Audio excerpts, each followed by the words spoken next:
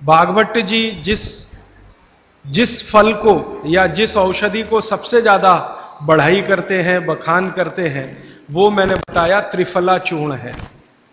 भागवत जी का यह कहना है कि पृथ्वी पर अगर कोई अमृत चीज़ है, अमृत तत्व है तो वो ये त्रिफला है। त्रिफला में तीन फल हैं, आंवला है, बहेड़ा है, हरडे है। लेकिन जो महत्व की बात आपको समझने की है वो ये कि हर बहेड़ा, आंवला इसको हमेशा एक, दो, तीन के अनुपात में ही उपयोग करें। बागभट्ट जी ने त्रिफला उपयोग करने के लिए बोला है, लेकिन उसके साथ उन्होंने एक महत्व की बात जोड़ी है कि इसको अकेला कभी भी उपयोग ना करें। या तो इसमें गुड़ मिलाएँ, या तो इसमें शहद मिलाएँ।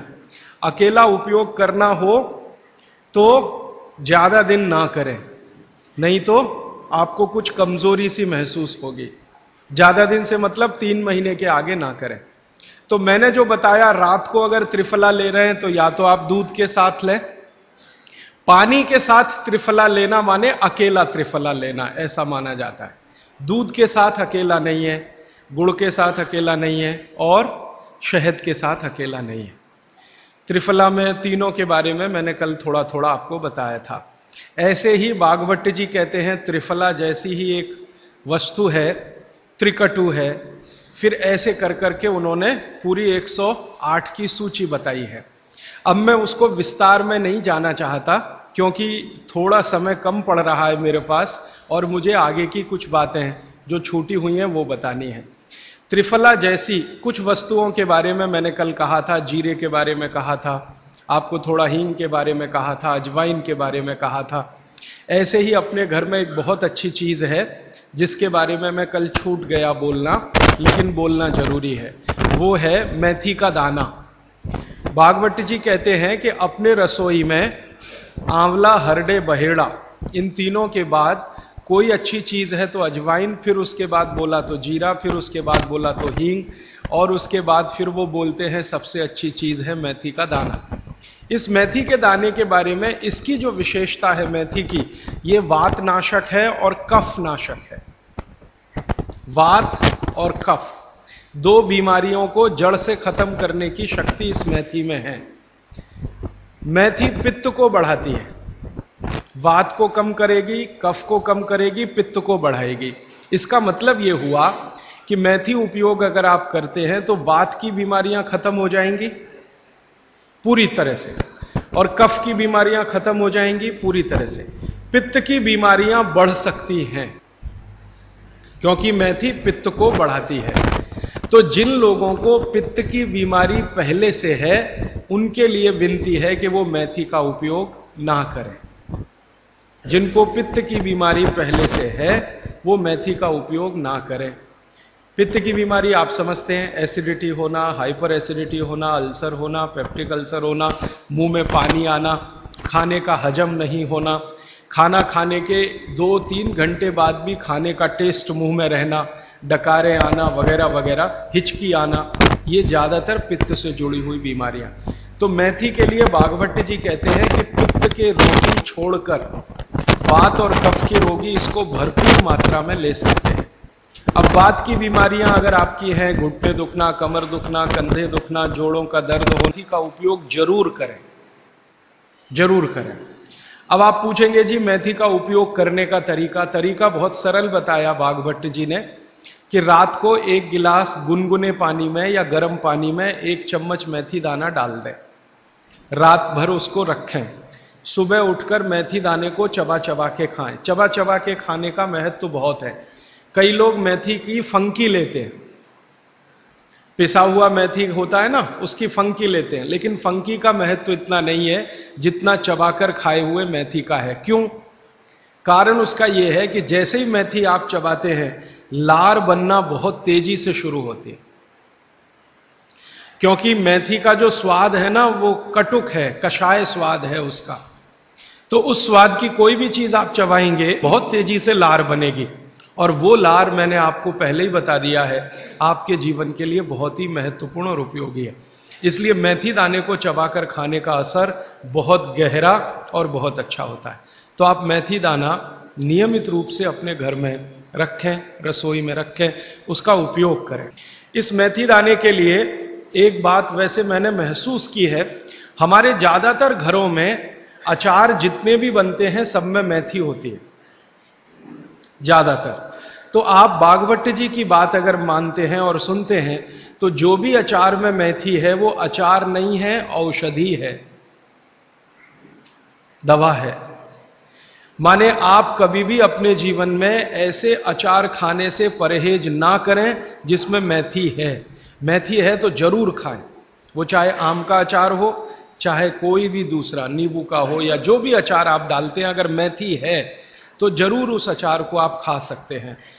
कुछ अचारों में मेथी के अलावा ये भी होती है, अजवाइन होती है। अगर अजवाइन है तो आप ज़रूर अचार खा सकते हैं। क्योंकि महत्व की बात जो आपको मैं समझाना चाहता हूँ वो ये कि किसी भी अचार पर, किसी भी फल पर औषधियों का असर फल से ज़्यादा होता है। जो विज्ञान की बात है वो ये कि आपने अचार डाला तो मान लो आम का फल था, आम के फल का अचार डाला, अब इस पे मेथी पड़ गई या इस पे पड़ गया ये, अजवाइन पड़ गई। तो अजवाइन और मेथी दो ऐसी औषधियाँ हैं जो दूसरे के प्रभाव को बहुत कम और अपने प्रभाव को बढ़ा देती हैं। तो कई लोग ऐसा घबराते हैं ना, मुझे अचार, खाना तो अच्छा लगता है लेकिन खा नहीं सकता क्योंकि मुझे ऐसी तकलीफ़ है। मैं आपको यह कहना चाहता हूँ कि अगर मेथी पड़ी हुई है किसी भी अचार में और आप वात के रोगी हैं, या आपको कफ की तकलीफ़ है तो बेझिझक वो अचार खाइए तो अचार के साथ मेथी जाएगी। और अचार में पड़ी हुई मेथी का असर पानी की मेथी से कई गुना ज़्यादा हो जाता है। मैंने जो मेथी आपको बताई, वो पानी में रात को डाल के सुबह खाना, इसका जितना असर है, लेकिन अचार में डाली हुई मेथी का असर इससे कई गुना ज़्यादा है, क्योंकि अचार में ये मेथी पाँच छह महीने साल भर पड़ी रहती है। मेथी के बारे में बागवती जी कहते हैं कि तेल में मिलाकर अगर आपने इसको रख लिया तो मात वही है कि अचार में तो तेल भी है, बिना तेल के अचार नहीं है। अब मेथी उसमें डल गई। तो आप समझ लीजिए कि इसकी शक्ति जो काम करने की है, वो 20 गुनी ज़्यादा होती है। कम से कम 20 गुनी ज़्यादा होती है। तो इसलिए अचार में पड़ी हुई मेथी जितनी पुरानी होती जाएगी, आपको उतनी ही लाभकारी है। और ठीक यही बात उन्होंने अजवाइन के लिए लिखी है कि अजवाइन अचार में पड़ गई है तो आप समझ लो कि वो बहुत गुनी बढ़ गई है। अब मैं ये दूसरे तरह से सोचता हूँ कि हमारे घर में जो माताएँ बहनें हैं, वो कितनी वैज्ञानिक हैं कि अचार के रूप में मेथी को या अजवाइन को इस तरह से डालती हैं। वो अनजाने में कितना बड़ा विज्ञान का काम कर रही हैं। जानकर करें तो आप सोचो कितना गर्व हो, कितना गौरव हो। लेकिन अनजाने में वो कर रही हैं। तो ये बात मैं विशेष रूप से आपके ध्यान में लाना चाहता हूँ कि जिस घर की माताएँ अचार बनाना जानती हैं, वो बहुत वैज्ञानिक है। भले उन्होंने अपनी माँ से सीखा हो, या दादी माँ से सीखा हो, या नानी माँ से सीखा हो, अनजाने में आपने एक ऐसी चीज़ सीख ली है जो दुनिया के बड़े बड़े डॉक्टर नहीं जानते। कोई भी एमबीबीएस एमडी डॉक्टर से पूछ के देख लीजिए, उसके बारे में कुछ नहीं जानता। और चूँकि वो जानता नहीं है तो अनजाने में कह देता, अचार मत खाओ जी। हाँ नहीं तो ये हो जाएगा, वो हो जाएगा। उसको ये मालूम नहीं है कि मेथी दाने का अचार है, अजवाइन का अचार है, जीरे का अचार है। तो ये जीरा है, मेथी दाना है, अजवाइन है, हींग का अचार एक बनता है। तो बागवती जी कहते हैं कि जितने तरह के फलों के अचार हम बनाते हैं, उसमें आयुर्वेदिक औषधि अगर पड़ गई है तो वो फल का असर कम है, औषधि का असर ज़्यादा है, और आयुर्वेद की औषधियों को कुछ विशेष कॉम्बिनेशन में तेल के साथ अगर आप उपयोग कर रहे हैं तो असर सबसे ज़्यादा है। माने बागवट जी के हिसाब से अचार आप ज़रूर खाएँ, लेकिन इसमें उन्होंने बोला है कि अचार महत्व की बात है कि उसमें या तो मेथी हो, या तो अजवाइन हो, या तो जीरा हो, या तो हींग हो, दालचीनी हो, जो भी है, औषधि के बिना अचार ना खाएँ। ये है उनका सूत्र। थोड़ा आगे बढ़ते हैं। वो हमारे रसोई घर में एक चीज़ के बारे में बहुत बखान करते हैं, माने बहुत बढ़ाई करते हैं। वो ये कहते हैं कि जो लोग खाने के बाद पान खाते हैं चूना मिलाकर, वो ज़िंदगी भर वात के रोगी होंगे नहीं। जो खाने के बाद पान खाते हैं, चूना मिलाकर, वो ज़िंदगी भर वात के रोगे होंगे नहीं। माने चूना, वो बोलते हैं, सबसे बेहतरीन वातनाशक औषधि है। मेथी का दाना तो है ही। चूना उससे थोड़ा एक डिग्री ऊपर है मेथी दाने से। चूना सबसे अच्छी वातनाशक औषधि है। चूने के बारे में बागवट जी का बहुत बहुत रिसर्च है, बहुत रिसर्च है। और वो ये कहते हैं कि ये भगवान की दी हुई प्रचंड मात्रा में अद्भुत ऐसी चीज़ है, जो आपके बात के सब रोगों को दूर करेगी। माने घुटने दुखते हैं, कमर दुखती है, कंधा दुखता चूना खाइए। फिर वो कहते हैं कि इतना ही नहीं, शरीर में कैल्शियम जो है ना, कैल्शियम, ये एक घटक है माइक्रो न्यूट्रिएंट इसको कह सकते हैं अंग्रेज़ी में, सूक्ष्म पोषक तत्व है। ये कैल्शियम के बारे में जो गंभीर बात है, आज के विज्ञान के हिसाब से जो मैं कहना चाहता हूँ भागवत जी ने तो साढ़े तीन हज़ार साल पहले कह दिया, आज का विज्ञान उसको प्रूव कर रहा है कंफर्म कर रहा है वो ये, कि कैल्शियम की कमी अगर शरीर को है तो आपको बीसियों नहीं, पचासियों बीमारियाँ आएँगी। कैल्शियम की कमी अगर है शरीर को तो पचासियों बीमारियाँ आएँगी। क्या क्या आ सकता है? हर तरह का दर्द आपको होगा, हर तरह का। मांसपेशियों का दर्द, हड्डियों का दर्द, सब तरह का। हड्डियों की जितनी विकृतियाँ हैं, वो सब कैल्शियम की कमी से आएँगे। हड्डियों के जितने रोग हैं, वो सब कैल्शियम की कमी से आएँगे। फिर वो कहते हैं कि रक्त के बहुत सारे रोग कैल्शियम की कमी से आते हैं। रक्त के रोग, खून की बीमारी। फिर वो कहते हैं कि बहुत सारे कफ के रोग कैल्शियम की कमी से आते हैं। तो कैल्शियम कम नहीं होने देना चाहिए। जो विज्ञान आज का कहता है, आधुनिक विज्ञान ये कहता है कि कैल्शियम वो माइक्रो न्यूट्रिएंट है, वो सूक्ष्म पोषक तत्व है, जिसके शरीर में रहने पर ही दूसरे सूक्ष्म पोषक तत्व उपयोगी होते हैं। ये 12-15 साल का रिसर्च है। एक वाक्य में मैंने खत्म कर दिया। कैल्शियम की उपस्थिति में ही बाकी सभी सूक्ष्म पोषक तत्व उपयोगी होते हैं। इसका मतलब यह है कि अगर आपको शरीर में विटामिन सी का असर देखना है तो कैल्शियम चाहिए।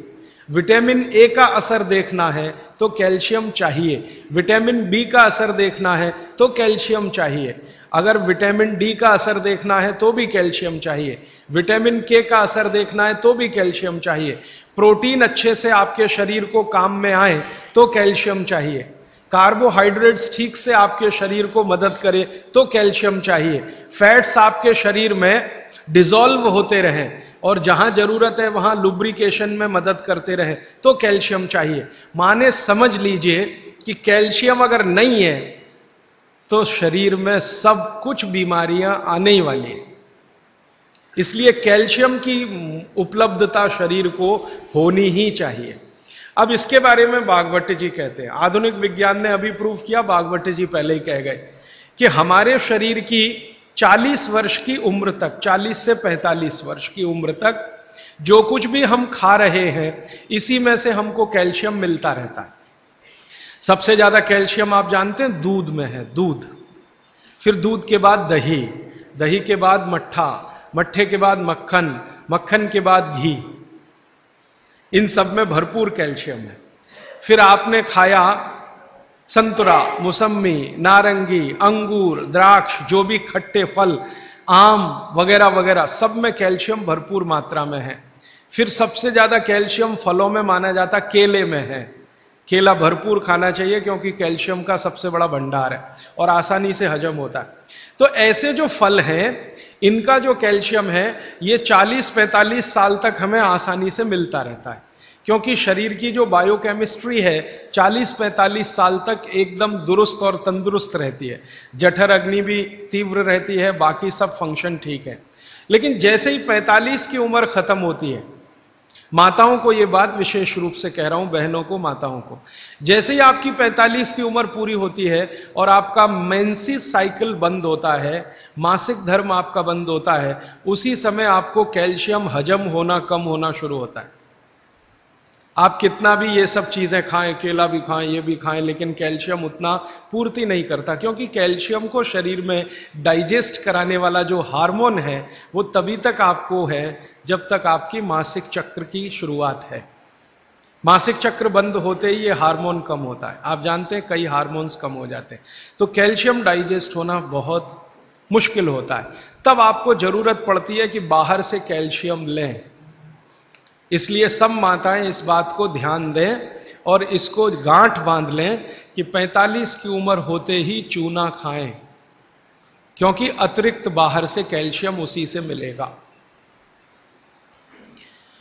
चूना ज़रूर खाएँ, आप सबके लिए। और आपको भी है चूना खाएँ, क्योंकि आपकी उम्र भी 45 की जब पूरी होगी तो ये जो कैल्शियम है, वो आपके लिए पर्याप्त नहीं है, जो फलों से और सब्जियों से आ रहा है। कुछ अतिरिक्त चाहिए। और चूँकि बाकी सब माइक्रो न्यूट्रिएंट्स कैल्शियम की उपस्थिति में ही काम आएँगे, इसलिए इस पर ध्यान दीजिए। तो शायद इसलिए इस देश में एक परंपरा विकसित हुई है पान खाने की। यह पान खाने की परंपरा बहुत वैज्ञानिक है, बहुत ही वैज्ञानिक। जिसने भी शुरू की वो बागवट का पक्का चेला रहा होगा। बहुत समझकर उसने ये शुरू की। और ये अद्भुत है। अद्भुत मैं इसलिए कह रहा हूँ कि भारत की सब जातियों में उत्तर से दक्षिण, पूरब से पश्चिम ये परंपरा है। कहीं भी चले जाओ। आप सिक्किम में चले जाओ, अरुणाचल में चले जाओ, वो भी पान खाते हैं। और आप धुर दक्षिण में आ जाओ तो यहाँ भी है। उत्तर में चले जाओ, कहीं भी चले जाओ। तो ये पान खाना भारतीय सभ्यता का एक बहुत महत्वपूर्ण अंग है जो स्वास्थ्य से जुड़ा हुआ है। बस ध्यान इतना ही रखिए कि पान जो है चूने का ही खाना है। पान जो है चूने का ही खाना है। पान कभी भी कत्थे वाला ना खाएँ, क्योंकि कत्था आपके लिए उतना उपयोगी नहीं है। कत्था स्वाद के लिए आप उपयोग करते हैं, चूना औषधि के लिए उपयोग करते हैं। ये बात मैं एक बार पहले भी कह चुका हूँ। आज फिर से इसलिए कह रहा हूँ कि कुछ नए चेहरे मैं देख रहा हूँ। कल बहुत सारे नए और आज भी बहुत सारे नए चेहरे आए हैं। अब वो ये ज़रूरी बात से वंचित रह जाए, इसलिए मैंने ये दोबारा से कहा है। तो आपके रसोई में मेथी दाना हो गया, चूना हो गया, पान हो गया फिर पान के बाद आपको जीरा, हींग वगैरह वगैरह, अजवाइन, ये सब हो गई। ऐसी कुल 108 औषधियाँ हैं। गरीब से गरीब आदमी की रसोई में ये औषधियाँ हैं। इनका भरपूर उपयोग करिए। एक औषधि के बारे में बागभट्ट जी कहते हैं, और भी महत्व की है, दालचीनी। दालचीनी के बारे में बागभट्ट जी कह रहे हैं कि वायु के जितने भी प्रकोप हैं, जैसे दमा, अस्थमा, ये वायु की बीमारियाँ। अस्थमा, दमा, वात की बीमारियाँ, वायु की। तो इनको खत्म करने में या समाप्त करने में या इन बीमारियों को ठीक करने में बड़ी मदद करता है दालचीनी। और दालचीनी के बारे में बागभट्ट जी कहते हैं कि ये दमा, अस्थमा इनको तो खत्म करेगा ही, वात के सब रोगों को खत्म करेगा, कफ के रोगों को भी खत्म करता है। कफ के रोग आप समझते हैं, खांसी है, सर्दी है, जुकाम है, मोटापा है, वज़न बढ़ना, ये सब कफ के रोग हैं। तो इनमें भी दमा जैसी बीमारियों, जितना असर है दमा पे, उतना ही इस पर भी है कफ की। तो दालचीनी का भी उपयोग आप कर सकते हैं, आपकी बीमारी के हिसाब से। दालचीनी आप सब जानते हैं, आसानी से आपको पहचान में भी आती है। बस उसका उपयोग करते समय ध्यान रखें कि ये ज़्यादा उपयोगी है पाउडर के रूप में। कई बार मैंने देखा है, भोजन बनाते समय हम दालचीनी का पत्ता डाल देते हैं या उसकी वो जो छाल जैसी है वो डाल वो उतना उपयोग नहीं आता, जितना पाउडर करके वो उपयोग में आता है। और दालचीनी के बारे में बागवती जी कहते हैं कि इसको अगर उपयोग कर रहे हैं तो आप गुड़ के साथ इसको खूब घिसिए, रगड़िए, ऐसे ऐसे ऐसे ऐसे, खूब अच्छे से गुड़ मिले, फिर खाइए, फिर पीछे से थोड़ा गर्म पानी पीजिए, अद्भुत परिणाम। और अगर आप शहद ले सकते हैं तो शहद के साथ तो इसका मर्दन मर्दन एक शब्द उन्होंने इस्तेमाल किया। मर्दन माने घिसना, रगड़ना। तो वो कहते हैं कि खूब रगड़ करके, मर्दन करके शहद में ऐसे ऐसे ऐसे ऐसे पाँच सात मिनट फिर चाटिए और थोड़ा हल्का गुनगुना पानी पीजिए तो आपके शरीर के कम से कम तो पचास रोग, ये अकेला दालचीनी खत्म कर देगा। कम से कम पचास। कफ के रोग और वात के रोग। तो ऐसी बहुत सारी चीज़ें अपने रसोई में है। अभी मैं थोड़ा आगे बढ़ता हूँ, रसोई से बाहर निकलता हूँ, क्योंकि रसोई में अगर मैं बोलूँ तो और तीन चार दिन जाएगा। आपको और ज़्यादा विस्तार से ये जानना है तो मैंने बार बार कहा है पुस्तकें हैं। एक पुस्तक है जो रसोई घर पर ही केंद्रित है, जिसका नाम है स्वदेशी चिकित्सा। और एक दूसरी है सौंदर्य चिकित्सा। माने स्किन के जितने डिसीज हैं, बाहर हैं, आप ले जाइए। बागवट जी के ही सारे सूत्र हैं। बस इतना ही हमने किया है कि भाषा थोड़ी सरल की है और उपयोग आप कर सकें। आज के समय में उस हिसाब से उस सूत्र को लिखा है। लेकिन जितने सूत्र हैं किताबों में, वो सब परीक्षण करके लिखे गए। छह सात साल हमने खूब परीक्षण किया है, परिणाम मिले हैं, तभी उनको लिखा है। ताकि किसी को फ़ायदा तो हम दें अच्छा है। नुकसान किसी का ना हो, हमारे कहने और करने से। मैं थोड़ा आगे बढ़ता हूँ। बागवट जी कहते हैं कि भगवान ने, प्रकृति ने हमको जो बहुत सारी चमत्कारिक चीज़ें उपलब्ध कराई हैं, भगवान ने या प्रकृति ने, उनमें से एक चमत्कारी चीज़ वो बोलते हैं, गाय है, गाय। बागवट जी कहते हैं कि भगवान ने और प्रकृति ने जितनी चमत्कारी चीज़ें हमें उपलब्ध कराई हैं, उसमें से एक है गाय। और गोमूत्र के बारे में वो बहुत बखान करते हैं। बखान शब्द आप समझते हैं? खूब प्रशंसा करना, खूब प्रशंसा करना। वो कहते हैं कि ये गाय का मूत्र अद्भुत है, अद्भुत अद्भुत है मतलब वो ये कहते हैं कि वात पूरी तरह से खत्म करने की शक्ति इसमें है। कफ पूरी तरह से खत्म करने की शक्ति इसमें है।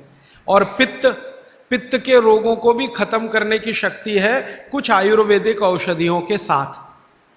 वात और कफ को तो ये अकेला ही खत्म कर देता है। पित्त को खत्म करने के लिए इसमें कुछ औषधियाँ मिलानी पड़ती हैं। लेकिन वो कहते हैं कि जीवन में तीन तरह के जो जितने रोग हैं, वात, पित्त, कफ, इनकी कुल संख्या मैंने आपको सबसे पहले दिन बोली थी 148 रोग हैं लगभग। भारत में। दुनिया की बात नहीं कर रहा हूँ, सिर्फ़ भारत। तो भारत में वात पित्त कफ के कुल 148 रोग हैं। बागवती जी कहते हैं, हर रोग को खत्म करने की शक्ति अकेली अगर किसी एक वस्तु में है तो ये गोमूत्र मेथी का दाना वात को कम करेगा, कफ को कम करेगा। पित्त को खत्म नहीं कर सकता। पित्त को कई बार बढ़ा देता। कई लोगों को यह महसूस होगा, मेथी दाना खाएँ तो जलन ज़्यादा होती है, गैस बनती है, मुँह सूख जाता है। तो आप समझ लो, पित्त भड़क गया आपका। तो उन लोगों के लिए तकलीफ़ है। लेकिन वो कहते हैं कि यह गोमूत्र एक ऐसी चीज़ है जो वात, पित्त, कफ तीनों को सम में लाने के लिए सबसे ज़्यादा मदद करता है। अब ये तो उन्होंने लिख दिया साढ़े तीन हज़ार साल पहले। तो ज़रूर कुछ ऑब्जर्वेशन किए होंगे। हमको इस पर भरोसा कम होता था। जब ये बात मैंने पहली बार पढ़ी तो भरोसा कम होता था। कि क्या अद्भुत चीज़ बता रहे हैं वो। वात पित्त कफ तीनों को एक साथ सम में ला सकता है। थोड़ा सा मामूली हेर फेर करना पड़ेगा पित्त के रोगियों के लिए, बाकी के लिए तो कुछ नहीं करना। तो फिर हम लोगों को जब शक हुआ कि शायद ये इतना असरकारी नहीं हो सकता तो गोमूत्र पर हम लोगों ने कुछ परीक्षण किए। हमारा एक बहुत बड़ा समूह है इस देश में तो उसमें बहुत तरह के लोग हैं, वैज्ञानिक भी हैं, डॉक्टर भी हैं, वगैरह वगैरह। तो कुछ वैज्ञानिक और डॉक्टरों ने मिलकर कहा, करके देख लो। बागवती जी कह रहे हैं तो हो सकता है ज़रूर इसमें कुछ गंभीर बात हो। करके देखो। तो जब करके देखना शुरू किया तो पिछले लगभग पाँच छह वर्षों में गोमूत्र पर हज़ारों परीक्षण किए, हज़ारों। सबसे पहले तो उसका हमने केमिकल एनालिसिस कराया कि आखिर गोमूत्र है क्या। तो सबसे ज़्यादा उसमें पानी है। पानी के अलावा क्या है? तो पता चला पानी के अलावा उसमें कैल्शियम है। तो पता चला पानी के अलावा उसमें सल्फ़र है। पानी के अलावा उसमें आयरन है। पानी के अलावा उसमें ऐसे जीवन के 18 सूक्ष्म पोषक तत्व हैं जो शरीर को बहुत ही उपयोगी है। पानी तो है ही गोमूत्र में। आपके भी मूत्र में पानी है, लेकिन पानी के अलावा उसमें बहुत कुछ ऐसा है जो आपके मूत्र में नहीं है। मनुष्य मूत्र में नहीं है। कैल्शियम है, आयरन है, सिलिकॉन है, बोरॉन है एफी है, मैग्नीज है, मैग्नीशियम है, ऐसे 18 सूक्ष्म पोषक तत्व। अब मैं आपको पहले दिन की बात याद करा रहा हूँ। ये 18 सूक्ष्म पोषक तत्व तो एक साथ अगर किसी चीज़ में है तो मिट्टी में है। मिट्टी, खेत की मिट्टी में। और दूसरी अगर किसी चीज़ में एक साथ है तो गाय के मूत्र में। दूसरी कोई भी चीज़ में अगर है तो गाय के मूत्र में। पहली चीज़ जिसमें है मिट्टी, और दूसरी कोई चीज़ तो गोमूत्र। तो गोमूत्र का प्रयोग आप ज़रूर कर सकते हैं। ये जो संपूर्ण घटक वाली एक पेय पदार्थ है या द्रव्य पदार्थ है, इसके बारे में वो कहते हैं कि ये बहुत अच्छा है, चमत्कारिक है। तो हमको लगा कि करके देख लो। तो इसका पहले हम लोगों ने केमिकल एनालिसिस कराया। एक लेबोरेटरी में गाय का मूत्र डिब्बे में भर के दिया, शीशी में भर के कि जरा देखो इसमें क्या है। तो छह महीने के बाद, लगभग आठ महीने के बाद लखनऊ एक शहर है भारत का, जिसका बड़ा नाम है, बड़ा ज़िक्र है, उत्तर प्रदेश की राजधानी है। वहाँ पर एक बहुत बड़ी प्रयोगशाला है, उसका नाम भी बता दूँ, ताकि आप चाहें तो उनसे कंफर्म कर लें। प्रयोगशाला का नाम है CDRI central drug research institute Bharat में दवाओं पर, औषधियों पर काम करने वाली ये सबसे बड़ी संस्था है। तो इनके यहाँ सबसे पहला टेस्टिंग हुआ। शीशी में भरा गोमूत्र हमने दिया और तीन चार तरह के गोमूत्र दिए। एक तो वो जर्सी गाय होती है ना, जर्सी गाय, विदेशी गाय, उसका भी दिया। होलिस्टियन, फ्रीजियन जाति की गाय का दिया और जो भारत की गाय है, देशी गाय अपनी, उसका दिया। तो वैज्ञानिकों ने छह से आठ महीना लगाया। फिर रिपोर्ट आई, रिपोर्ट के बाद पता चला कि शरीर की बीमारियों को खत्म करने के लिए जितने घटक चाहिए, वो सब गोमूत्र में हैं। सबके सब।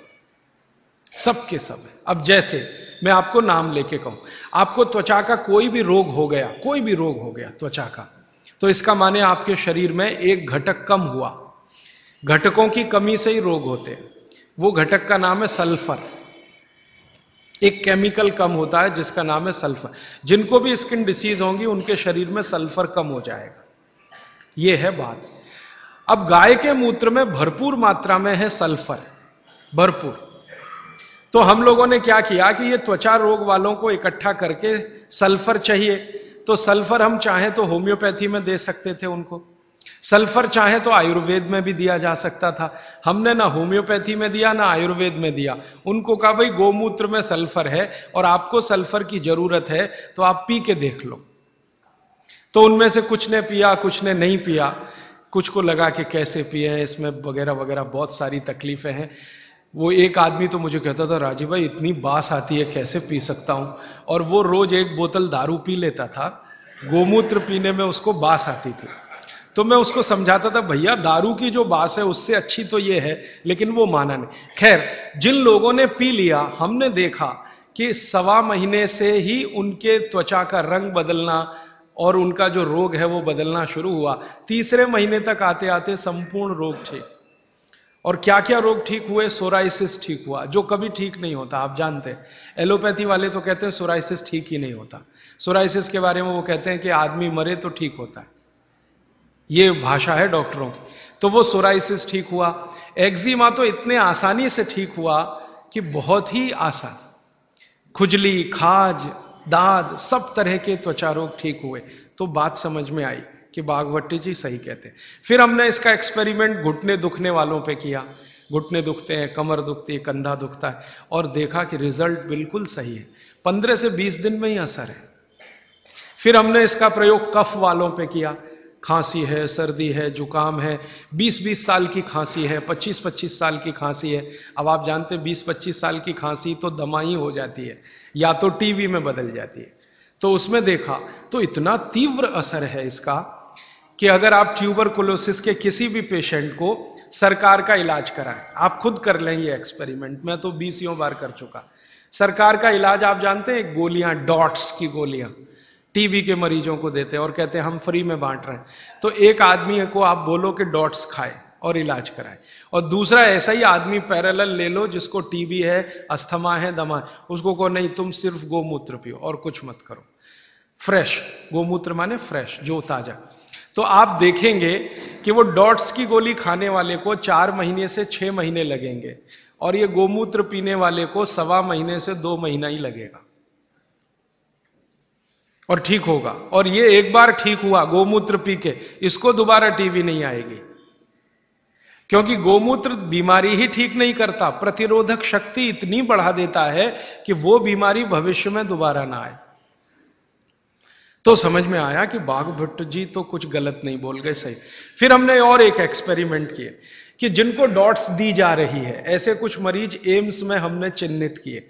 ज़्यादा एक्सपेरिमेंट हमने एम्स के डॉक्टरों की मदद से किए। तो ऑल इंडिया इंस्टीट्यूट के कुछ मरीज़ जिनको डॉट्स दी जा रही है, नियमित रूप से टीवी के लिए वो आते हैं, उनको शीशी में भर भर के ये दे दिया। और ये नहीं कहा कि ये गोमूत्र है, क्योंकि कहो तो खाएँ नहीं और पिए नहीं। उनको कहा, ये बहुत अच्छा सीरप है, आप इसको पीते रहो। अब वो आते थे, शिकायत करते थे कि ये कैसा सीरप है, इसमें कुछ बास सी आती है।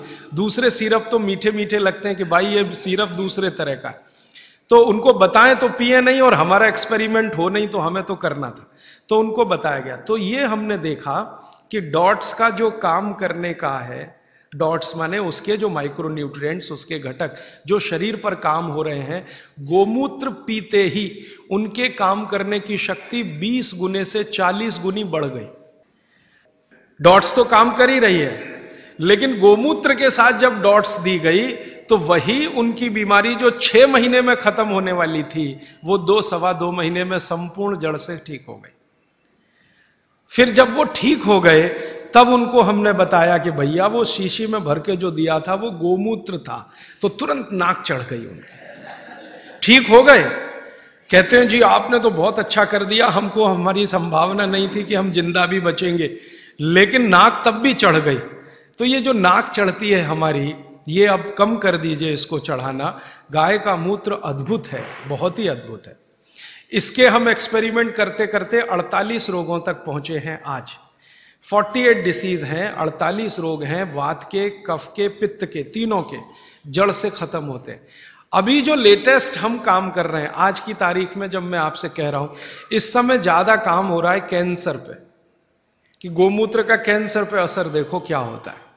तो गले का कैंसर आहार नली का कैंसर और पेट का, इन तीन कैंसरों पर सबसे अच्छे परिणाम है गोमूत्र के तीनों कैंसर पे। बाकी जो रक्त का कैंसर है, उसमें परिणाम अभी उतने अच्छे नहीं है। तो भागवत जी के जो परमुटेशन और कॉम्बिनेशन है मतलब कि गोमूत्र में ये मिलाओ और ये मिलाओ और इतनी मात्रा में मिलाओ और इतनी, वो करके देख रहे हैं। और वो करके देखने के लिए एक बड़ा हॉस्पिटल बन रहा है इस देश में। आप कभी भी वहाँ जा सकते हैं। 11 फरवरी से काम करना शुरू कर देगा। वलसाड में बन रहा, वलसाड। वलसाड आपने सुना है, गुजरात में। तो वलसाड के कुछ जैन समाज के लोग इकट्ठे हुए, उन्होंने दिल दिखाया और दान दे दिया, जितना चाहिए था। माने हॉस्पिटल बनाने के लिए आप जानते हैं, आसान नहीं है। और कैंसर हॉस्पिटल के लिए तो थोड़ा मुश्किल है। तो उन्होंने भरपूर दान दे दिया, जगह भी दे दी तो हॉस्पिटल बन के तैयार हो गया। 11 फरवरी से काम शुरू हो जाएगा। जो वैज्ञानिक गोमूत्र पर काम कर रहे थे पिछले छह सात साल से, वो सब इकट्ठे होकर वलसाड में बैठेंगे और सिर्फ़ कैंसर पे काम करेंगे, क्योंकि बाकी काम तो करके देख चुके हैं, वो सब में अच्छा है। हर बीमारी में काम आ रहा है, कैंसर में करेंगे और हर तरह के कैंसर में करेंगे। गर्भाशय के कैंसर में करेंगे, रक्त कैंसर में करेंगे, ब्रेन ट्यूमर जो कैंसर में कन्वर्ट होता है, उसमें करेंगे। और शायद हमें लगता है एक डेढ़ साल के बाद मैं दोबारा आपको मिलूँगा तो इस पर बहुत विस्तार से बात करूँगा कि कैंसर में क्या रिज़ल्ट है। तीन तरह के कैंसर के रिज़ल्ट तो अभी बता सकता हूँ, गले का, आहार नली का और पेट का। ये तो बहुत अच्छे से ठीक हो रहा है, लेकिन बाकी कैंसर में भी इसका कोई असर है। आपने कैंसर के बारे में जितना कुछ सुना है, उसमें से एक बात मैं कहूँ कि आधुनिक विज्ञान ये कहता है कि शरीर को कैंसर तभी होता है जब शरीर में एक केमिकल कम होता है। उस केमिकल का नाम है करक्यूमिन। ये आज के वैज्ञानिकों ने रिसर्च करके निकाला है। करक्यूमिन नाम का एक केमिकल है। ये कम है तो ज़रूर तो खत्म होगा आदमी। कैंसर आएगा और खत्म होगा। और इस केमिकल की कमी से जो कोशिकाएँ होती हैं, वो अनकंट्रोल्ड होती हैं। उनके ऊपर कंट्रोल नहीं रहता। तो ये एक दूसरे के साथ मिलकर एक जूथ जैसा बना लेती हैं। वो ट्यूमर हो जाता है, फिर ट्यूमर बाद में ब्लास्ट होता है और फिर वो मेलिग्नेंट होता है। पहले बिनाइन, फिर मेलिग्नेंट और फिर अंत में कहते हैं, जी, डेथ ही है और कुछ है नहीं उसमें। कंट्रोल के बाहर है वो सब। सारे वैज्ञानिक इसमें लगे हुए अब संयोग की बात देखिए कि जिस करक्यूमिन की बात आज के वैज्ञानिक कर रहे हैं, वो करक्यूमिन भरपूर मात्रा में गोमूत्र में है। भरपूर मात्रा में। और एकदम डाइजेस्टेबल फॉर्म में है। डाइजेस्टेबल माने तुरंत पियो और असर करे, ऐसा। देर नहीं लगे। ये कुछ ऐसा संयोग है प्रकृति का। वैज्ञानिक कह रहे हैं कि ये तत्व कम होता है, तभी कैंसर होता है। अब यही तत्व गाय के मूत्र में है।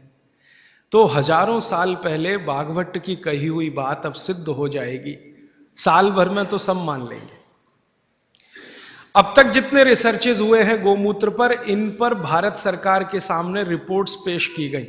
भारत सरकार की जानते हैं एक काउंसिल है जिसका नाम है MCI medical council of India इनके पास सब कुछ जाता है सबसे पहले। तो वो सब गया। तो एमसीआई वालों ने नाक चढ़ाई बहुत। ये क्या आप ले आए? गोमूत्र। ऐसा बात करते हैं। ये क्या ले आए? गोमूत्र। माने उनको लगता है कि ये तो बेकार की चीज़ है, गोमूत्र। अब उनका कुतर्क क्या है, वो जरा देखो। कुतर्क।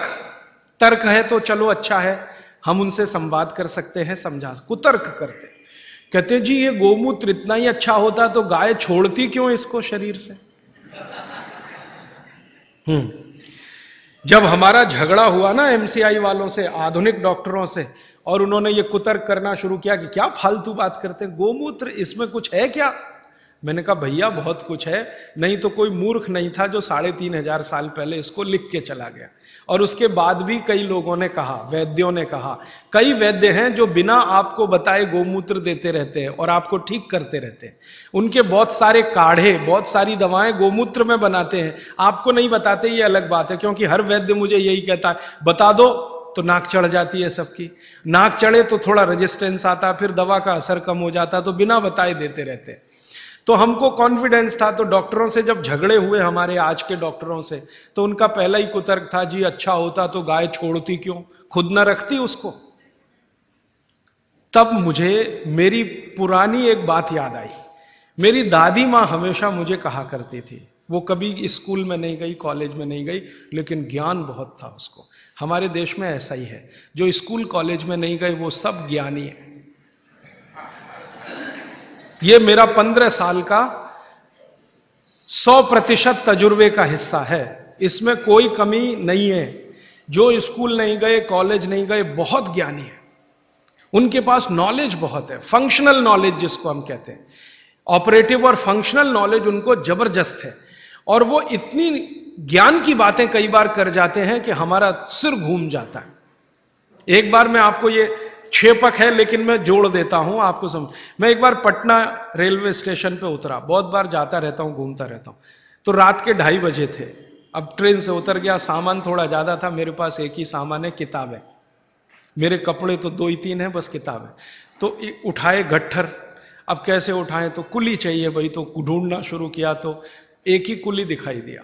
मैंने कहा, भाई, जरा ले चलो बाहर तक। उसने कहा, साहब, थोड़ी देर रुक जाओ। मेरा कुछ झगड़ा है। किससे झगड़ा है? तो मेरी पत्नी से झगड़ा हो रहा है। थोड़ी देर रुक जाओ, फिर मैं ले जाऊँगा। तो मैं खड़ा हो गया, दोनों की बात सुनने लगा। पति और पत्नी बात कर रहे थे। उसकी पत्नी कहीं गाँव से आई हुई थी, कोई मामला था। मुझे ज़्यादा उनकी भाषा समझ में नहीं आ रही थी, क्योंकि वो जो है ना, स्थानीय भाषा बोलते हैं। और मैं थोड़ा मूर्ख आदमी हूँ, मुझको कम समझती। तो मैं सुन ज़रूर रहा था, झगड़ा चल रहा था, अंत में कुछ फैसला हुआ और फैसला हुआ, फिर उसने कहा, चलो, अब आपका सामान लेता हूँ। तो मैंने जिज्ञासा से पूछ लिया, भाई, बात क्या थी? तो उसने कहा, कुछ नहीं। मैंने कहा, बता दो भाई। उसने कहा, मेरे घर की बात है आपको क्या बताऊँ? तो फिर भी मैंने कहा, बता दो। तो उसने कहा, बात इतनी सी थी कि मेरी पत्नी कुछ कह रही थी, मैं मान नहीं रहा था। फिर मैंने कहा, क्या हुआ? उसने कहा, अब मैंने मान लिया। मैंने कहा, क्यों मान लिया?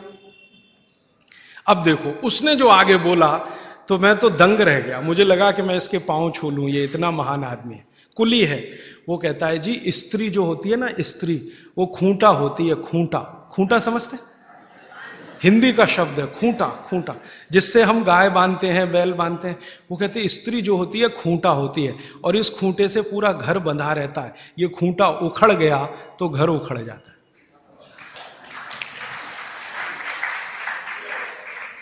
अब मैंने कहा कि भाई, इसने कहीं यूनिवर्सिटी में गया नहीं, कोई डिग्री इसके पास है नहीं।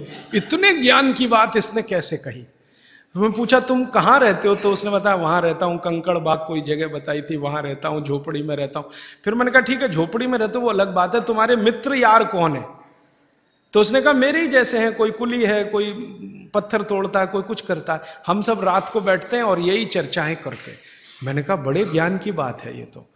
कोई फिलोसोफर इस बात को पाने में दस साल लगाएगा, डबल पीएचडी करना पड़ जाएगा, उसको ट्रिपल पीएचडी और उसको साधारण। तो मेरा यह मानना है कि ये बिना पढ़े लिखे लोग बहुत ज्ञानी हैं। ये अनजाने में कई बार ऐसी बातें करते हैं या ज्ञान के काम करते हैं, जो जानकर करें तो सबका गौरव और सम्मान इतना ही हो जितना हमारा आपका है। तो बागवट जी ने कह दिया, उसके बाद बहुत सारे वैद्यों ने अनजाने में ये किया कि बागवट जी कह गए, इसलिए गोमूत्र में घिस के दो हरडे है ना गोमूत्र में घिस के दो तो ज़्यादा लाभ करती है, पानी में घिस के दो तो कम लाभ करती है, ऐसे ऐसे। तो मैंने उन वैज्ञानिकों से झगड़ा ले लिया इसी आधार पर कि ये बोला है, हज़ारों साल किया है, ये अलग बात है कि रिपोर्ट्स नहीं रखी उन्होंने। तो ठीक है, हम निकाल के देंगे आपको। तो उनका एक ही कुतर्क था कि जी, मूत्र इतना अच्छा होता तो गाय क्यों छोड़ती इसको? आपका मूत्र अगर इतना अच्छा होता तो आप क्यों छोड़ते इसको? फिर बाद में मुझे दादी की बात याद आई कि दादी ये कहती थी कि ये गाय नहीं है माता है। माता है, माता। वो कभी भी हम कहते थे, गाय तो वो कहती थी, गाय मत बोलो, गो माता। या तो माता बोलो, नहीं तो गो माता। गाय नहीं बोलने दिया कभी भी उसने, क्योंकि गाय बोलना, वो कहती थी, अपमान है उसका। तो गौ माता है। अब माता जो होती है, हर ज़रूरी चीज़ बच्चे के लिए छोड़ती है। ये आप सब जानते हैं। बच्चा उत्पन्न हुआ तो उसको सबसे ज़्यादा ज़रूरी है दूध तो माँ दूध छोड़ना शुरू कर देती है। बच्चे होने के पहले तक नहीं है, वो बच्चा होने के बाद ही है। तो माता के बारे में ये कहा जाता है, माँ की परिभाषा इस देश में है कि हर ज़रूरी चीज़ जो उसके बच्चे को चाहिए, वो छोड़ती है। तो मुझे लगा गाय भी माता है तो ये बहुत ज़रूरी चीज़ है शायद हमारे लिए मूत्र तो ये हमारे लिए शायद छोड़ती है। हम मूर्ख हैं कि उसको इकट्ठा नहीं करते, बेकार जाने देते हैं। तो वैज्ञानिकों को मैंने कहा, भाई, हमारे यहाँ तो ये कहा जाता है कि ये गाय नहीं है माता है तो माँ कुछ ज़रूरी चीज़ हमारे लिए छोड़ती है तो शायद ये ज़रूरी हो। तो उनका अच्छा ठीक है, अब आप बहुत ज़ोर दे रहे हो। और हमने कई तरह का प्रेशर डलवाया था उनके ऊपर। तो चलो, करके देख लेते हैं। फिर एम्स के और एमसीआई के वैज्ञानिकों ने काम किया। और काम करने के बाद, आठ महीने के बाद वो कहते हैं, बात आपकी बिल्कुल सही है। ये गोमूत्र हमारे लिए ही गाय छोड़ती है। हमारे लिए ही छोड़ती है। हमको बीसियों बीमारियाँ हैं जो इससे ठीक होती है। तो आप अपने जीवन में गाय के प्रति देखने का थोड़ा नज़रिया बदल दो। अब तक आप गाय को दूध के लिए देखते थे। अब मैं आपको दिखाना चाहता हूँ, मूत्र के लिए देखो। दूध तो बोनस है। मूत्र उसकी ज़िंदगी के आखिरी दिन तक मिलने वाली औषधि है। दूध तो थोड़े ही दिन मिलेगा। आप जानती हैं, गाय थोड़े दिन दूध देती है, जैसे माँ थोड़े दिन दूध दे सकती है, वैसे गाय भी थोड़े ही दिन दे सकती है, हमेशा नहीं दे सकती। थोड़े दिन के बाद दूध बंद हो जाता है। लेकिन मूत्र जीवन के आखिरी दिन तक देती है। और उस मूत्र से हमने करके देख लिया, वैज्ञानिकों ने मान लिया कि 48 बीमारियाँ तो जड़ से ठीक हो जाती हैं। ये बीमारियाँ क्या क्या हैं? फिर से सुना देता हूँ। जोड़ों के दर्द सब तरह के, किसी भी स्तर के जोड़ों के दर्द। पित्त की बीमारियाँ किसी भी तरह की, कफ की बीमारियाँ किसी भी तरह की, गोमूत्र से ठीक होती है। आप बोलेंगे, इसको लेना कैसे चाहिए? बागवट जी ने इसका तरीका यह बताया है कि गोमूत्र लेना हो तो उसका सबसे अच्छा समय है सवेरे का। सवेरे का समय बताया है अच्छा है। सवेरे गोमूत्र लेना चाहिए। कितना लेना चाहिए? तो यह मात्रा बागवट जी बोलकर गए कि जो बहुत ज़्यादा बीमार हैं, बहुत बीमार हैं, उनको एक दिन में 100 ग्राम 100 ग्राम नहीं कहा है, लेकिन जो मात्रा दी है वो ग्राम के बराबर है, और 100 ग्राम बोल रहा हूँ ताकि समझ में आए। नहीं तो उनकी मात्रा बोल दी तो समझ में नहीं आएगी। लेकिन वो लगभग 100 ग्राम। तो जो बहुत बीमार हैं, उनको 100 ग्राम 100 मिलीलीटर 100 मिलीलीटर माने एक कप जो चाय का है ना, उसमें 150 सौ चाय आती है 150 मिलीलीटर। तो उसका पाव कप मान लो ये बीमार, बहुत बीमार बहुत बीमार लोगों के लिए। और वो कहते हैं कि इसको आधा आधा करके लो तो और अच्छा है। तो आधा एक बार ले लिया, आधा दूसरी बार ले लिया। और जिस समय लें, पेट खाली रहे तो नाश्ते के पहले। अब पेट खाली दो समय रहता है दिन में, एक तो सुबह सुबह और दूसरा जब भोजन के बाद आप चार घंटे निकल जाए ना तो पेट लगभग खाली हो जाता है। तो शाम को ले सकते हैं, बीमार लोगों। और जो बीमार कम है या स्वस्थ हैं, निरोगी हैं और लेना चाहते हैं, उनको एक ही बार। तो 50 मिलीलीटर की मात्रा उन्होंने बताई उसके लिए। स्वस्थ, कम बीमार। 50 मिलीलीटर। 50 मिलीलीटर माने एक कप का तिहाई हिस्सा वन थर्ड तो ये आप ले सकते हैं। अब जिस गाय का मूत्र आप ले रहे हैं, उसके बारे में एक छोटी जानकारी उन्होंने जोड़ी उसमें। वो ये कहते हैं, सूत्र में कि गाय जो मूत्र पीने लायक, माने औषधि के रूप में देती है, वो गाय को पैदल चलना बहुत आवश्यक है। माने वो चले दिन में, घूमे, टहले, बांधी हुई गाय जिसको आप चलने ही मत दो, घर में ही बंधी रहे, उसके मूत्र के बारे में बागवट जी कहते हैं कि वो उपयोगी नहीं है। उपयोगी नहीं। अब हमने क्या देखा कि ये जो जर्सी गाय है ना, जर्सी, होलिस्टियन, फ्रीजियन ये बंधी हुई गाय है। आप इसको छोड़ भी दो तो जाती नहीं है, बद्ध से बैठ जाती है। खड़ा करो, फिर बैठ जाएगी। फिर खड़ा करो, फिर खड़ी भी नहीं होती। ज़्यादा देर बैठी रहेगी। चलना तो उसके लिए इतना भारी है कि जब वो चलेगी तो ऐसी कराह निकलती है उसके मुँह से। तो ये बंधी हुई गाय है। बागवती जी कहते हैं, बंधी हुई गाय का मूत्र अच्छा नहीं है। तो हमने जर्सी का निकाल के देखा, वो सच में अच्छा नहीं। जर्सी गाय के मूत्र में तीन ही घटक हैं। और देशी गाय के मूत्र में अट्ठारह घटक हैं। जो कुछ मिट्टी में है, वो गाय के मूत्र में है। अच्छा फिर मुझे बचपन की एक बात याद आई। मेरी दादी माँ ने कहा कि गाय के शरीर में तैतीस करोड़ देवता हैं। अब बात सुन ली, बैठ गई मन में। एक्सप्लेनेशन में पूछता था अपने आप से कि ये कैसे हो सकता? तैतीस करोड़ देवता, तैतीस करोड़ देवता। तो हमारे यहाँ एक शब्द है कोटि कोटि कोटि है ना कोटि। कोटि का एक अर्थ होता है करोड़ और कोटि का एक अर्थ होता है प्रकार। संस्कृत शब्द है कोटि। कोटि का एक अर्थ है करोड़। दस करोड़, बीस करोड़, पचास करोड़, जो गिनती में आप गिन। कोटि का दूसरा अर्थ है प्रकार। तो शायद यहाँ पर जो अर्थ है वो प्रकार वाला है। तैतीस प्रकार के देवता। तैतीस करोड़ नहीं क्योंकि जिस समय भागवत जी ने लिखा था, उस समय हिंदुस्तान की आबादी 20 करोड़ से कम रही होगी। तो 33 करोड़ देवता कैसे हो सकते हैं? जब कुल मनुष्यों की संख्या इतनी कम है तो शायद वो प्रकार वाला है। और आजकल बहुत लोग खिल्ली उड़ाते हैं ना, हिंदू धर्म की, ये ईसाई लोग और मुसलमान लोग जो खिल्ली उड़ाते हैं ना, वो इसी पे आ जाते हैं। क्या बात करते हो? तैतीस करोड़ देवता हैं तुम्हारे यहाँ। हमारे यहाँ तो एक ही देवता है और देवता तो एक ही होता है। तो वो शायद तैतीस प्रकार के देवता हैं, ऐसा है। अब मैंने एक बार पुराने शास्त्रों से गाय का एक चित्र निकला हुआ देखा तो देवताओं का बना हुआ था कि गाय के शरीर में कौन कहाँ है। जैसे गाय के मूत्र में धनवंतरी देवता है, गाय के गोबर में लक्ष्मी जी का निवास है। एक संस्कृत सूत्र है, गोमय वसति लक्ष्मी। गाय के गोबर में लक्ष्मी है, गोमूत्र में धनवंतरी है। गाय के गले में शंकर जी हैं ऐसे ऐसे करके है। अब मैंने कहा, करके देखो भाई, हैं तो करके देख लो। तो पहली बात तो समझ में तुरंत आ गई कि गोमूत्र से इतने रोग ठीक हो रहे हैं और धनवंतरी तो आरोग्य के लिए ही उत्पन्न हुए थे। तो मूत्र में धनवंतरी तो है, पक्का। गोबर में लक्ष्मी है क्या? तो हम लोग छह सात साल से ये प्रयोग कर रहे हैं और अब जाके हम ये कह सकते हैं कि सच में महालक्ष्मी है गोबर में। लक्ष्मी नहीं, महालक्ष्मी। क्योंकि हमने गोबर का उपयोग किया खेतों में। यूरिया डीएपी बंद करा दिया। भारत में हमारा जो अभियान है ना, हिंदू स्वराज अभियान, आज़ादी बचाओ आंदोलन, इसके करीब करीब कार्यकर्ता पूरे देश में 18-20 हज़ार ऐसे हैं जो गोबर से ही खेती करते हैं। यूरिया का एक दाना नहीं डालते डीएपी नहीं डालते, गोबर ही डालते जब ज़रूरत पड़े गाय का गोबर डालते और उनकी खेती पहले से इतनी अच्छी है कि उत्पादन उनका दो से तीन गुना बढ़ गया। पहले हमारा कोई कार्यकर्ता कपास करता था तो यूरिया डीएपी से एक एकड़ में दो ढाई क्विंटल। अब गोबर डाल के करता है तो सात क्विंटल कपास। पहले हमारा एक कार्यकर्ता गेहूँ करता था तो यूरिया डीएपी से एक एकड़ में बारह क्विंटल गेहूँ। अब गोबर से गेहूँ करता है तो चौबीस से पच्चीस क्विंटल गेहूँ, उसी एक एकड़। धान करते थे, चावल करते थे तो यूरिया डीएपी से आता था, मुश्किल से पंद्रह सत्रह क्विंटल धान, चावल उसमें भी कम होता था। अब हम धान करते हैं तो तीस क्विंटल तक आता है, उसी गोबर से।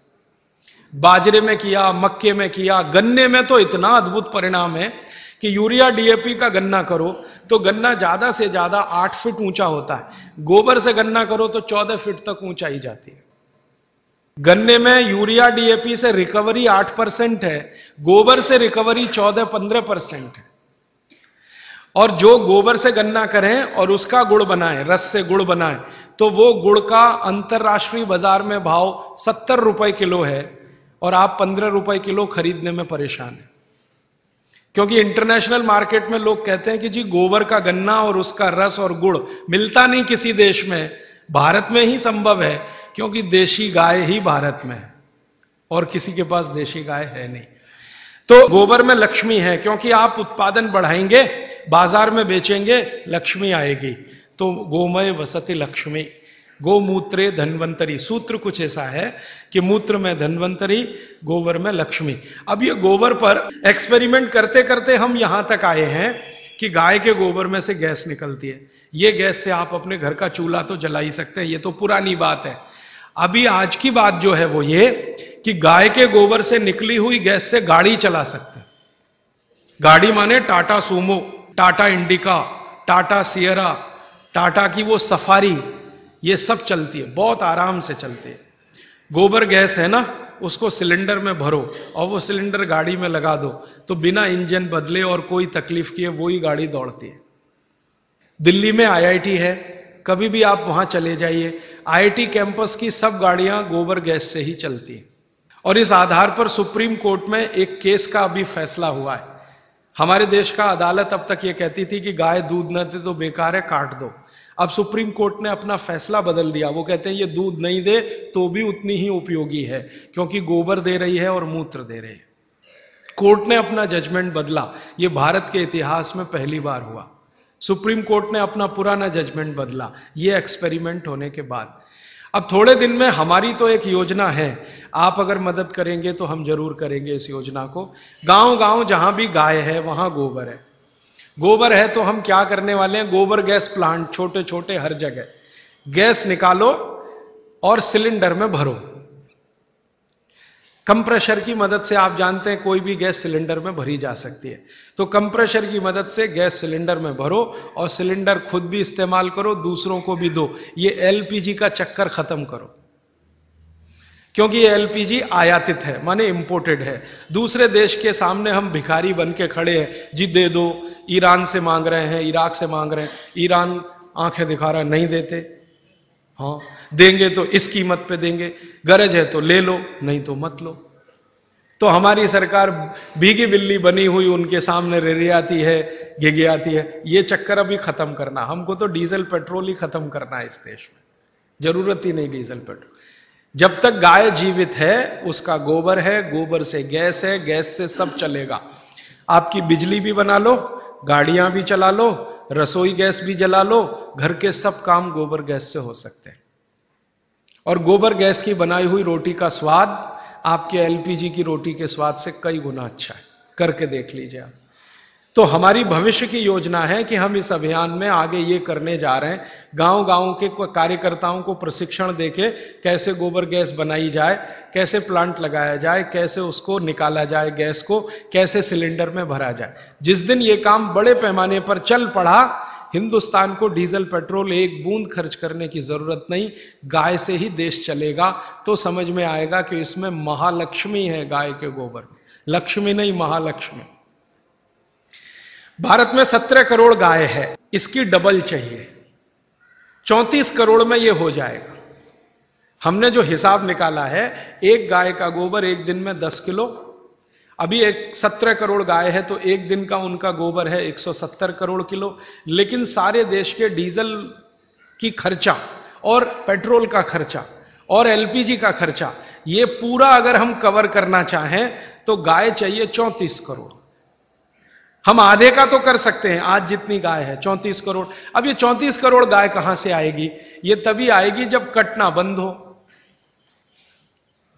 आप अगर इसका संरक्षण करें, गाय का कटना इसका बंद करा दें तो गाय की संख्या अपने आप चौंतीस करोड़ हो जाएगी। क्योंकि भारत की जो गाय है, देशी गाय, वो 20 साल जीवित रहती है। और 20 साल में कम से कम 17 बार माँ बन सकती है वो। भारत की गाय। और ये जो जर्सी है ना, इसकी उम्र ही नहीं है। ये ज़्यादा से ज़्यादा आठ से नौ साल जीवित रहती है।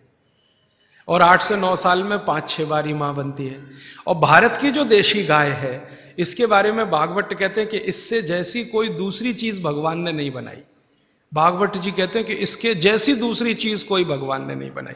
ये देशी गाय है, माँ बनेगी, बछड़ा आएगा बछड़ी आएगी तो गाय बनेगी, बछड़ा आएगा तो बैल बनेगा। और देशी गाय का बछड़ा ही बैल बनता है। ये जर्सी वाला नहीं बनता, क्योंकि देशी गाय के शरीर पर कंधा है।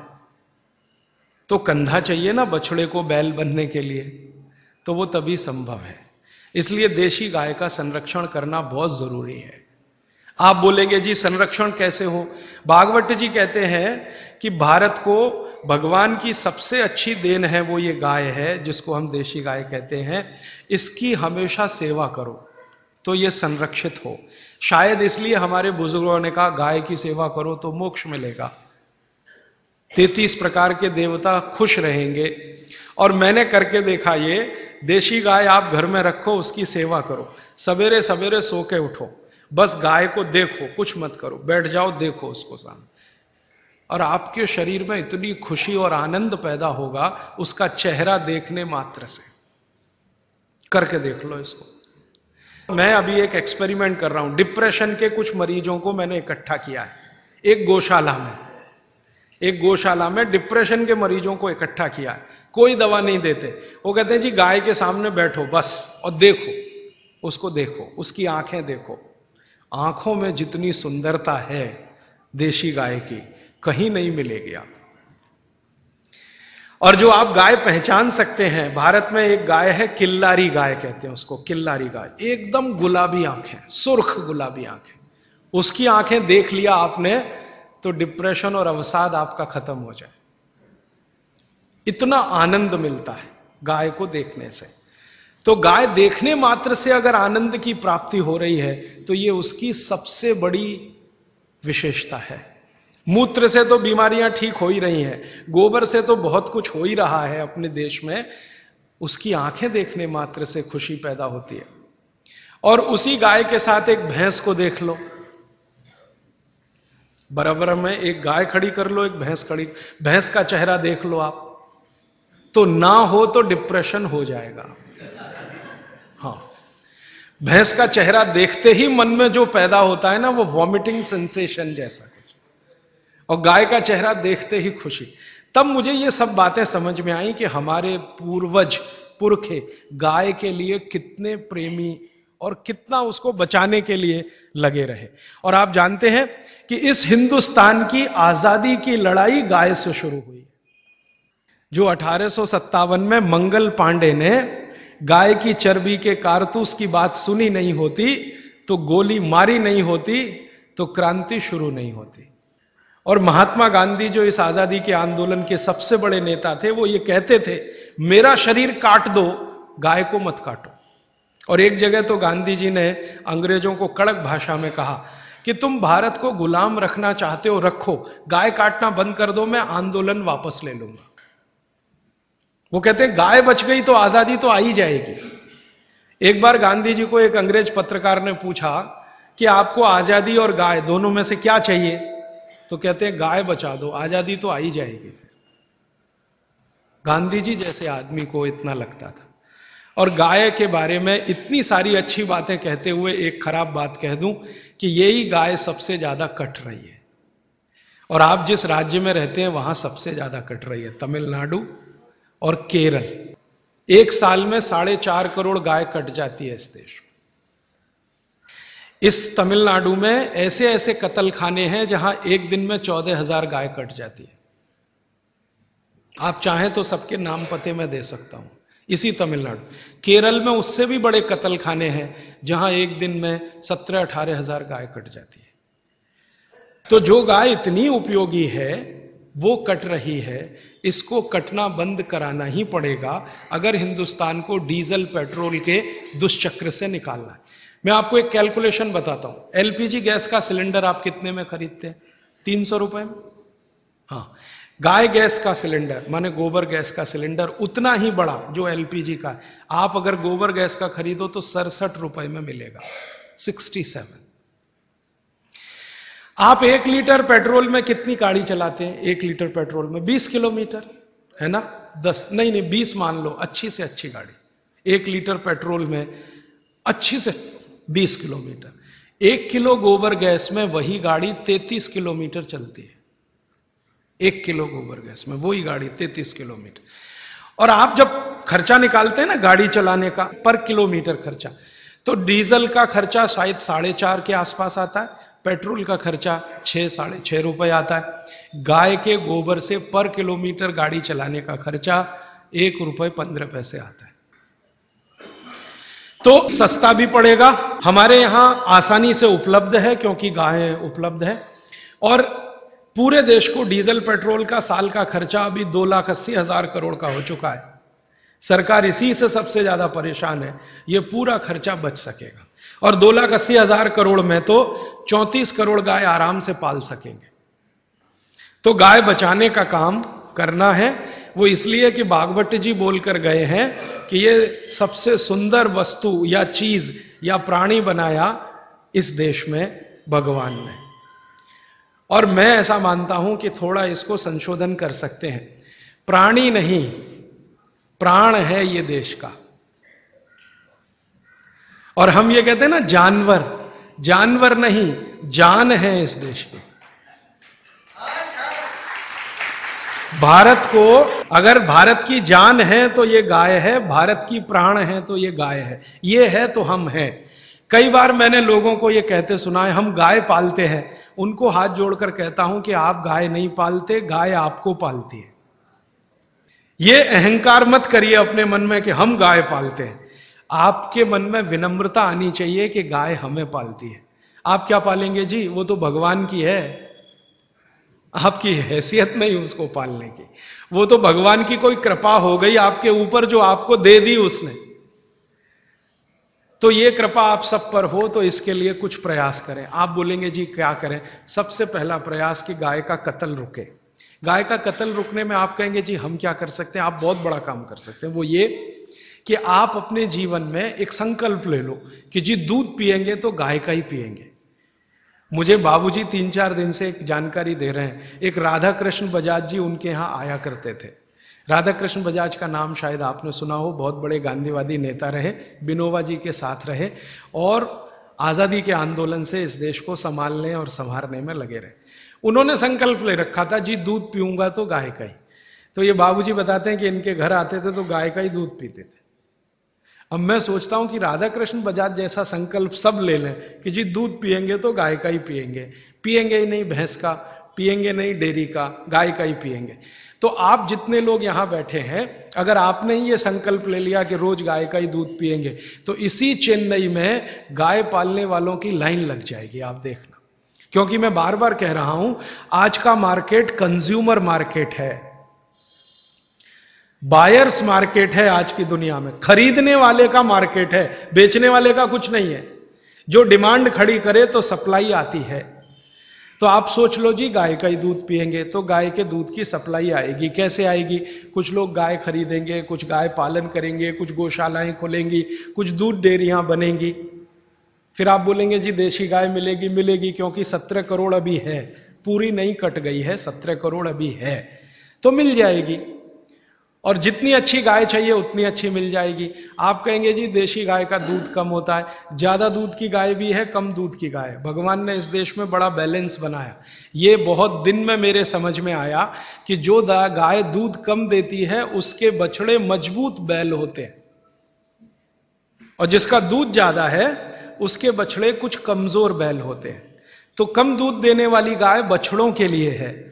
ज़्यादा दूध देने वाली गाय आपके लिए है। गाय सबको ध्यान रखती है। तो आप ज़्यादा दूध वाली भी गाय ले सकते हैं। इस देश में ऐसी गाय हैं, आप चलो तो मैं दिखाऊँ, जो पैंसठ लीटर दूध देती है एक दिन। पैंसठ लीटर। आपको चाहिए तो एक लाख रुपए की है। महँगी नहीं है। पाँच लाख की गाड़ी खरीद लेते हैं आप, दस लाख की गाड़ी खरीद लेते हैं। एक लाख की गाय क्या महँगी है? और वो गाय अगर आ गई तो आप देख के दंग रह जाएँगे, क्योंकि मैंने वो हरियाणा में देखी है, पंजाब में देखी है, पैंसठ लीटर दूध है, एक आदमी निकाल नहीं पाता, तीन लगते हैं निकालने। हाँ क्योंकि कितना निकालेगा? और मैंने देखा, हरियाणा में जो लोग रखते हैं ना, उनके घर में तीन लोग उसका दूध दुहते हैं। और इतनी सीधी इतनी सीधी है वो, कि बच्चा भी चाहे तो उसका दूध दुहने बैठ जाए। नहीं लात मारती, ना सींग मारती है, दूध बहुत है। खाना भी थोड़ा अच्छा है उसका, क्योंकि दूध इतना अच्छा है तो खाना भी अच्छा होगा। उसको एक चीज़ बहुत पसंद है जो आप खिलाएँ तो गन्ना होता है ना गन्ना, उसके ऊपर का हिस्सा। ये खिलाते जाओ, दूध उसका बढ़ता ही रहता, कम नहीं होता। पहली बार माँ बनेगी, दूसरी बार दूध बढ़ते ही जाता, गन्ना खिलाते रहो, बस उसको सबसे ज़्यादा। ऐसी भी गाय इस देश में है जो पैंसठ लीटर दूध देती है और ऐसी भी गाय है जो एक लीटर दूध देती है। वो आपके आसपास है। लेकिन एक लीटर वाली भी तिरस्कार मत करो, क्योंकि वो बछड़े जो देगी, वो बैल बनेंगे अच्छे। तो बैल तो चाहिए हमें, क्योंकि ट्रैक्टर से खेती ज़्यादा दिन कर नहीं पाएँगे। जो डीजल सौ रुपए लीटर हुआ तो क्या चलाएगा ट्रैक्टर किसान? तो बैल तो चलाना ही पड़ेगा। इसलिए देशी गाय, कम दूध वाली, उसको आप तिरस्कार की दृष्टि से मत देखो, उसके बछड़े मज़बूत बैल हैं। जो दूध ज़्यादा देती है, उसके बछड़े कुछ कमज़ोर होते हैं। मैंने वो करके देखा, कम दूध वाली गाय का बछड़ा बैल बनता है ना तो तीन टन, माने तीन हज़ार किलो माल आराम से चालीस किलोमीटर तक बिना रुके लेके जाता है। और जो ज़्यादा दूध देने वाली गाय है, उसका बछड़ा तीन टन माल लेके जाएगा, लेकिन तीन जगह रुकेगा, रेस्ट लेगा, फिर चलेगा। और जो कम दूध वाली गाय का बछड़ा है, वो स्पीड बहुत तेज है उसकी, दौड़ने में। आप मुकाबला नहीं कर सकते घोड़े का उसके साथ। और जो ज़्यादा दूध वाली गाय है, उसका बछड़ा होता है, बैल, लेकिन धीरे धीरे चलता है। तो हर एक चीज़ की अपनी अपनी विशेषता है। इस देश में भगवान ने सब कुछ सोच समझ के बना। तो आप दूध पीना शुरू करो गाय का तो गाय की डिमांड बढ़े तो फिर यहाँ गौशाला खोले। या पहले से चल रही गौशाला सुधार। हो फिर आप बोलेंगे, जी, रखेंगे कहाँ? चेन्नई के आसपास इतनी जमीनें हैं, बहुत सारे गाँव हैं, बहुत सारी जमीनें हैं, आप कहीं भी ले सकते हैं। और ये विदेशी कंपनियाँ आ, आके चेन्नई के आसपास जमीनें खरीद रही हैं तो आप क्यों नहीं खरीद सकते गाय के लिए?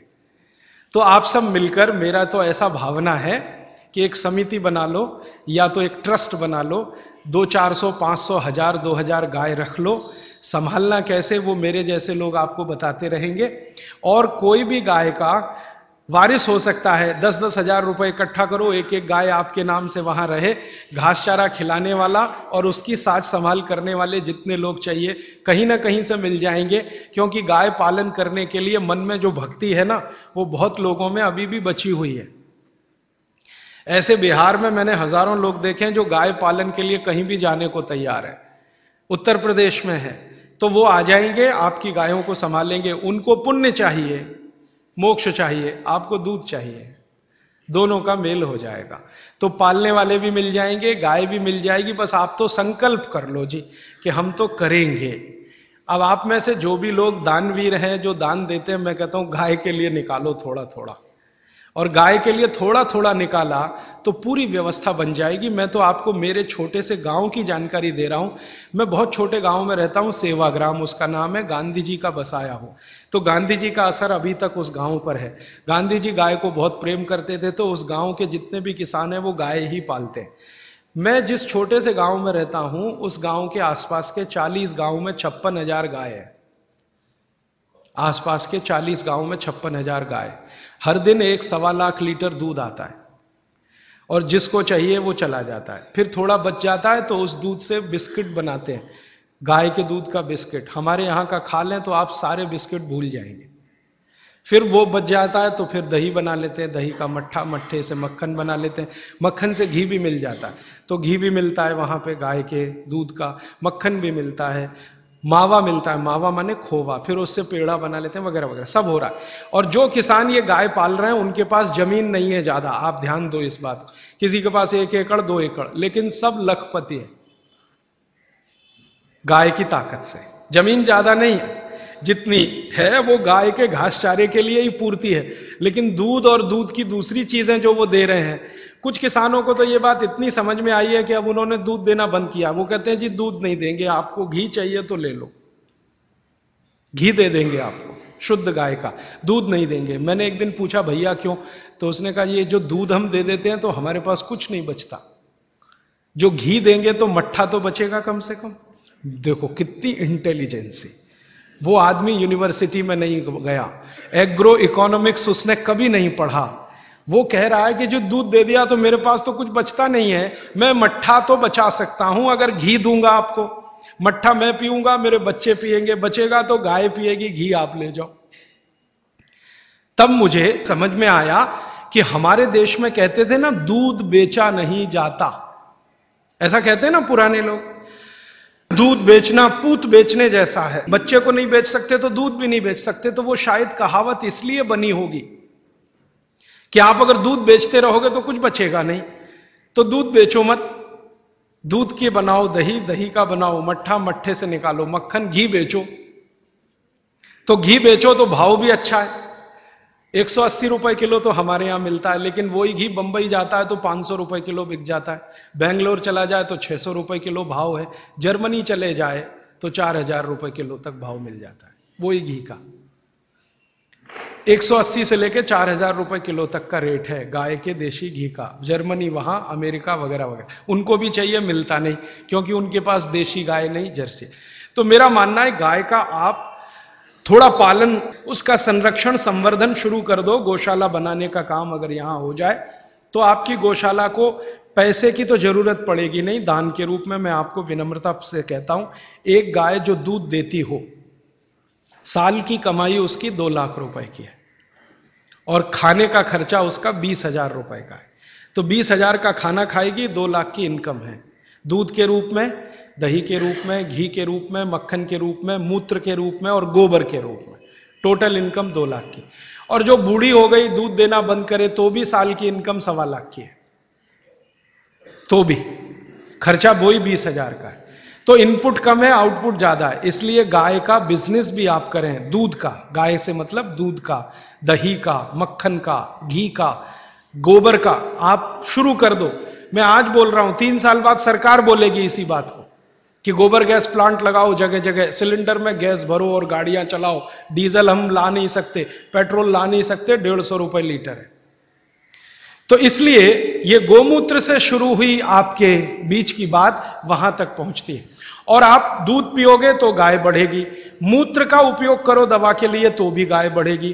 गोबर का उपयोग करो खेत में तो भी गाय बढ़ेगी। ये तीन तरीके से गायों को आप बचा सकते हैं और इनकी संख्या लगातार बढ़ा सकते हैं। यहाँ पर अपने निरंजन भाई हैं, ये और इनकी पत्नी गाय के सेवा में लगे हुए हैं। आपको कभी गोमूत्र की ज़रूरत हो तो इनसे ले लेना। अब मैं पाँच मिनट में खत्म करता हूँ कि गोमूत्र से और क्या क्या कर सकते हैं। हाँ और क्या क्या बागवती जी कहते हैं, आँख के कोई भी रोग, आँख के, सभी रोग कफ के रोग हैं जो आँख में हैं। जैसे मोतियाबिंद हुआ, ये कफ का रोग है।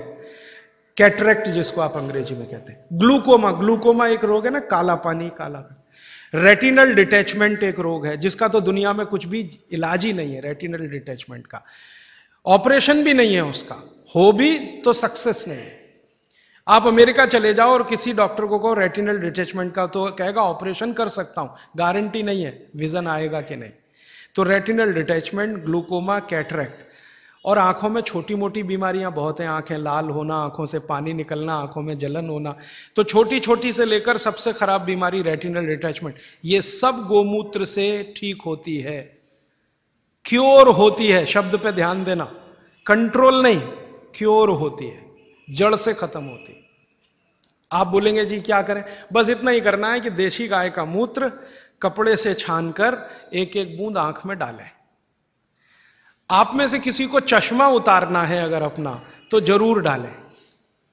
तीन महीने में आप लगातार डाल के देख लीजिए, नंबर बदल जाएगा और सवा डेढ़ महीने में चश्मा उतर जाएगा ग्लूकोमा बिना ऑपरेशन ठीक होता है चार सवा चार महीने में।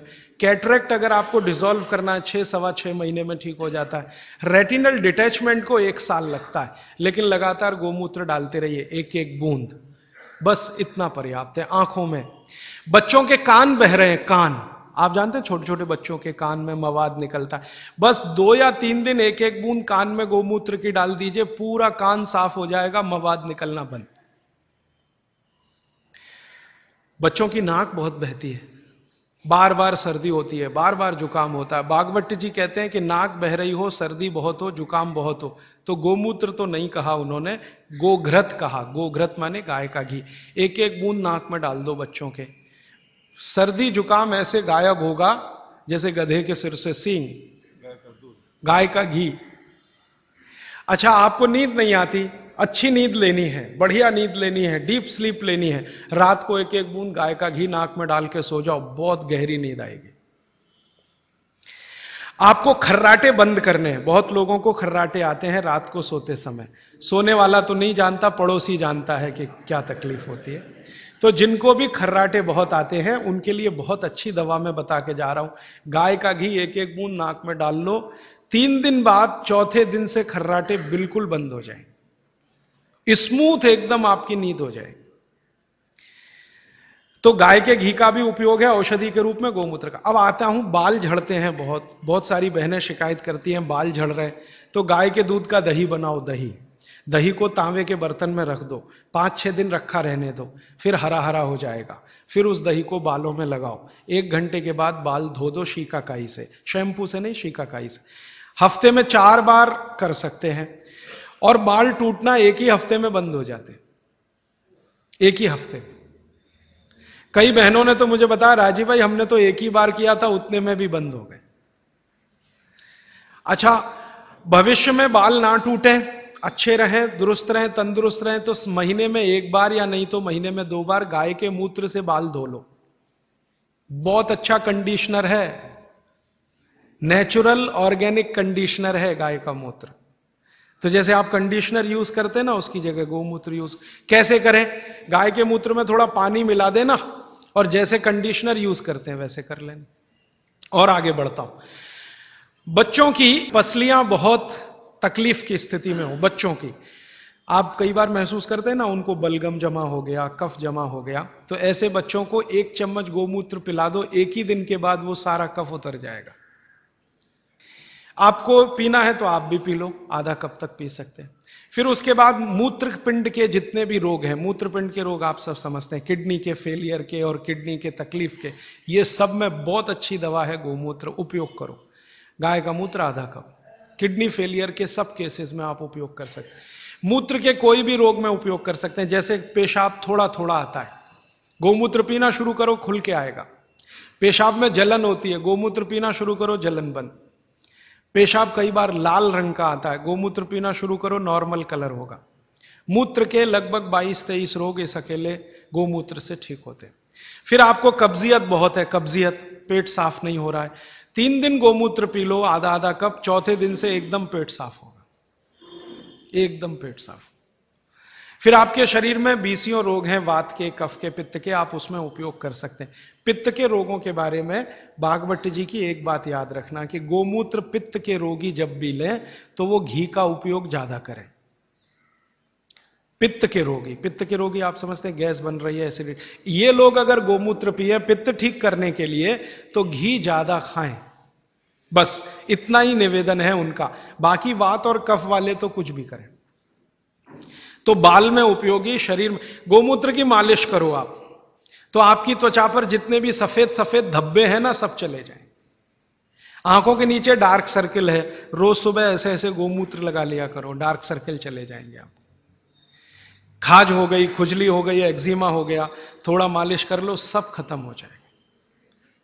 तो ये गाय का मूत्र अद्भुत है। अब इस गोमूत्र को ज़्यादा आज के समय में लोगों ने उपयोग करने के लिए एक टेक्निक डेवलप की है कि प्योर गोमूत्र मिले तो वैसे सबसे अच्छा होता है।